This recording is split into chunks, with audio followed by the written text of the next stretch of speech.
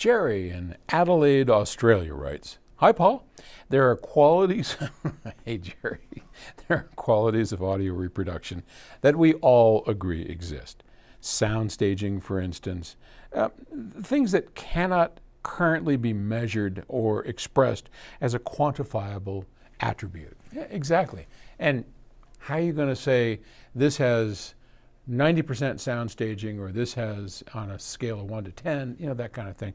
There, there's just there's no way to quantify it or to measure it with equipment certainly not. Um, but so could you discuss the aspects of music reproduction that you believe are real but lack tools for measurement analysis? And what would be the most useful measurement you would like to be able to take but currently lack the means to do well, we currently have state of the art measurement equipment. We are audio precision.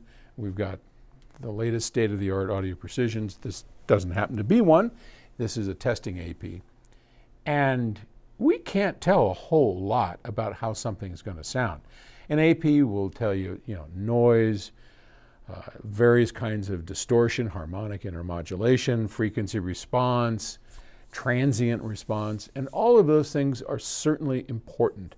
But sound staging, how, how is it going to present a sound stage? How, there is no way that I am aware of that you can measure that.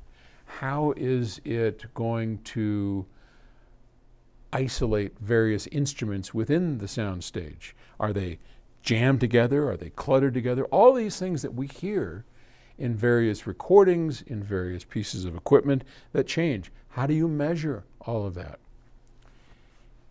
I don't know. If I had a magic measurement tool, which is what he's asking, it would involve imaging.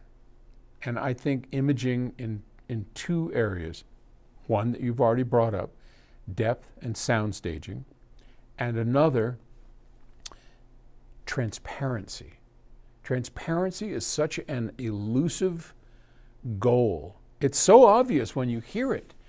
You put on one piece of gear and it sounds like you've opened the blinds, that all of a sudden you can hear into the music. Why is that? Well, we have plenty of speculation, and we can tell when we're designing products at PS Audio. We can tell that when we do this, it has greater transparency. Well, this is something we can then write down, like let's say, for instance, the level of feedback. So the more we can design a circuit that doesn't require feedback and then put judicious amounts of feedback back in and find the balance there, that has a great deal of impact on the openness and the transparency of the sound. So, yes, you could make a device that says, I suspect there's this much feedback, and if you have more, something is changing, maybe we could measure that. I don't know. The easiest way right now is to have learned all of this stuff and listen. There's my measurement tools right there.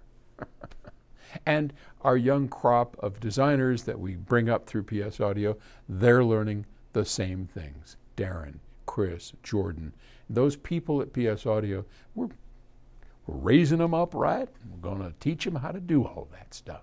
So we can continue making great stuff. Thanks for the question. It was a good one. I appreciate it. All right. Bye.